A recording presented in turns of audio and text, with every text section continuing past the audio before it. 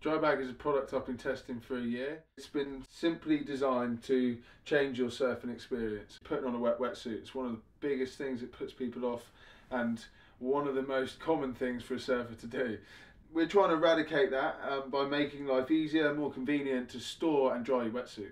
The dry bag has a zip down the front, makes it easily accessible to the hanger inside to fold your wetsuit in half and hang to the bottom where there is a well to catch all the water that drips from your wetsuit while drying. There is a water valve on the bottom to ensure that water doesn't leak out while you're drying and to release the water when you finish drying. Make sure you put it firmly when you release it. On the side of the bag we have some vents which increases the airflow to your wetsuit and speeds up the drying time.